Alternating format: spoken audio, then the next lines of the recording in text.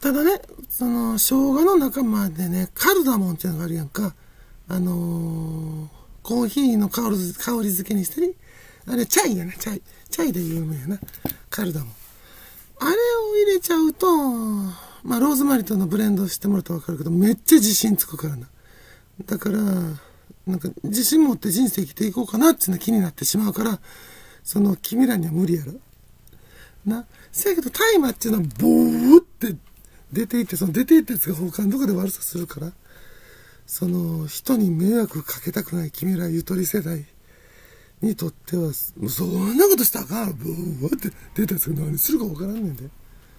ほんま何するかわからんねん。基本0って、0になった瞬間、モラルまず失ってるからな。基本的には。どんな立派な人霊でもな、そっから出てきた霊は、モラル失ってる場合が多いから。その人じゃない場合があるやん。えっ、と、例えば、うちが立派な人と仮定して、そこからボーって出てきた霊は、立派じゃない可能性の方が高いやろ。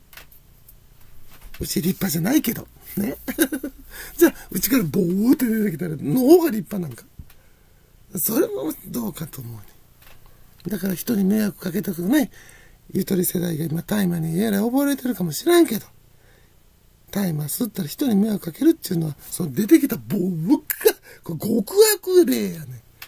こらちょっと君らの哲学美学に合わんやろ。ということで、あの、ローズマリーとか飲んだら、君らの体内でその悪い例がピシッひび割れして、で、排泄するだけ。デトックス、デトックス。ただカルダモンと混ぜたらあかんね。生姜と混ぜたら、まあ、ピシーってなるけど、カルダモンと混ぜたら同じ生姜かでもね、みんな自信ついて、これからなんか自信持って生きようかな、みたいな。そんなの、気の迷いが生じるから、それは急なんでちょっと向かない。